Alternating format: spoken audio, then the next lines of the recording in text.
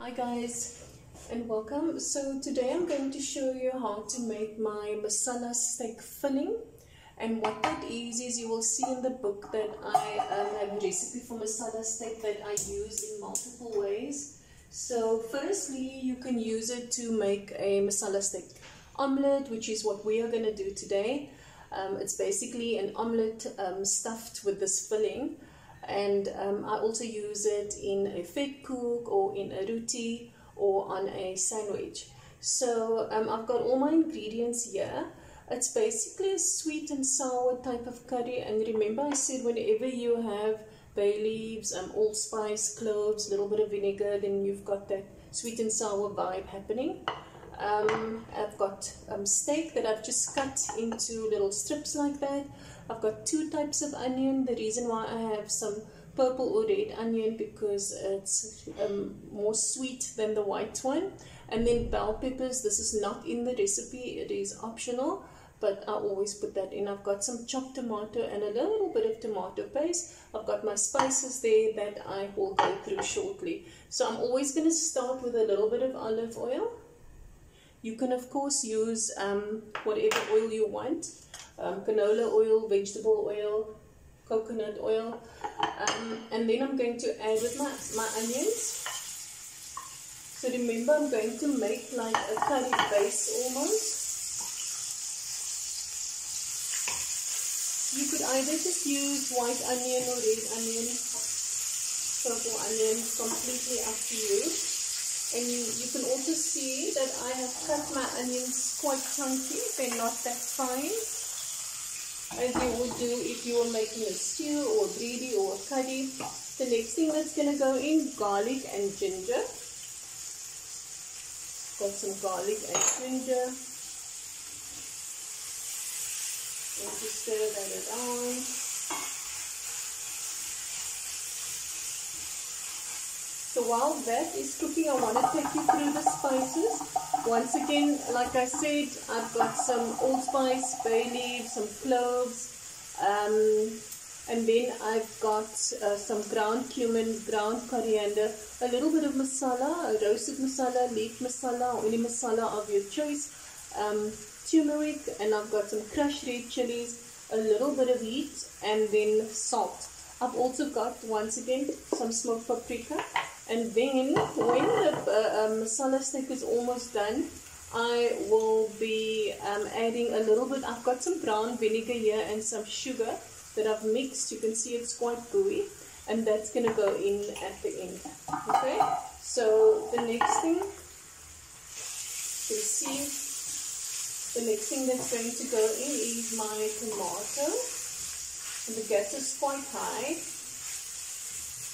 So I lightly want to braise that it's on a high heat and slowly but surely you can see the onion starting to caramelize a little bit. First they're going to go translucent but the red or the purple onion cooks just a little bit quicker than the other than the white onion and I don't want the white onion to burn so I'm going to add in my tomato and my little bit of tomato paste. If you are using bell pepper, bell peppers are going to go in towards the end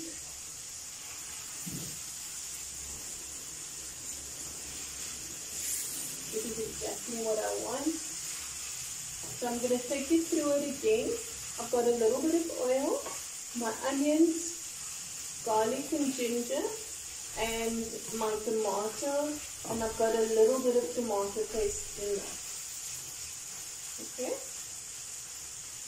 So I'm just going to give that two or three minutes just to cook and to soften and then we will get on with the meat and the spices. Guys, so it's about three or four minutes later and you can see I've just been um, braising this very gently on a very low heat and this is what it looks like. The onions are soft. Tomato, you can see it's no longer big chunks, the tomato, hence I didn't puree it or um, chop it very finely so this is actually ready for the spices.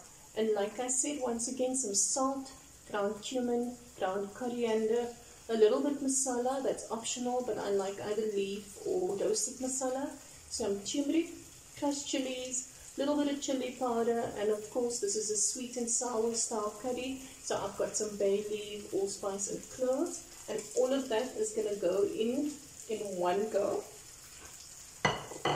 And then I am also, my favorite, a little bit of paprika.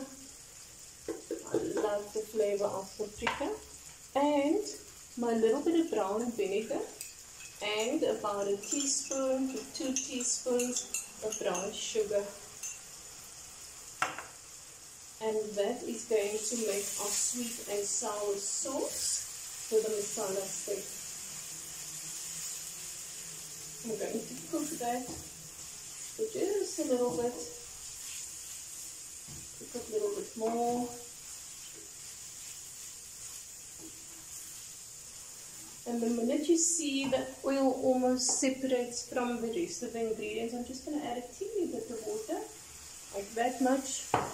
Then we are actually ready to put our beef into um, this mixture. You can see the sauce is ready. And you can see I've cut the steak into strips. You can use rump steak, um, tenderized steak, um, whatever steak you want to. So I'm just going to add that in. Let's get rid of that. And then I am simply going to mix that through. Mix that through. And what I like about this dish, guys, I always have a portion of this or double portion of this prepared in advance. I keep it in a Tupperware or a little dish um, in my fridge so the family can use it as and when they want to. So often we just make toasted sandwiches. If I'm making vetkoek, they will put it inside there. If there's roti or tortilla or um, an omelette, like how I'm going to show you today how to make an omelette, um, then you just stuff it on the inside. Uh, sometimes I just poach, open it up like this and poach eggs in the middle. You can really do um, so many things with this recipe. It's so versatile. So remember there's a little bit of sweetness, a little bit of sour, a little bit of heat. Of course, if you wanted to, you could make it a little bit um, hot. Um, but I don't like so much heat. I prefer the sweet and sour taste. Guys, I've got some yogurt as well that's going to go in here. This is also optional. Um, it's also going to lend itself to that sweet and sour flavor and give a little bit of creaminess. Um, without making it very rich is the, the yogurt's just a little bit healthier. And I am simply going to stir this through so that all the steak is covered in that sauce. And then that is going to cook for about 12 to 15 minutes. So what I'm going to do now I am actually going to add some water, quite a substantial bit of water, like that. Going to give it another light stir. And when this is done and the, the steak or the meat or the beef is tender, I'm simply going to garnish it with the bell peppers um, if you wanted to, you could put fresh coriander or basil or mint on it. But this is going to cook for about 12 to 15 minutes. We'll come back and check it and um, then we'll make our omelette. There we go. Hey guys, so I'm back in the kitchen and I am about to see what my masala steak looks like. You can see that the onions and the tomato has cooked away completely it's gone nice and soft and gooey. Thick and saucy, it's exactly what I want. The only thing I'm going to do now is add the bell peppers. Remember, you don't have to. Um, I just love bell peppers because it gives so much flavor. So I'm actually going to lift this and you can see what the masala steak looks like. So remember, this is a very basic mix um, that you can use for omelets, for steak sandwiches, for Gatsby, for vetkoek. roti. And even if you decided to put potato in here, it would absolutely be a steak or a beef curry. So I'm going to add my bell peppers. So this cook for about 20 minutes, maybe 5 minutes longer than I expected. But it also always depends on the cut of meat that you've got on the day. Not all cuts of meat are created equal, I believe. So always double check it. And in actual fact, what I had to do with this batch, um, you saw me add about one and a half cups of water initially before I closed it. And then after about seven minutes, I checked it. It was still a little bit tough, so I added another cup and a half's worth of water.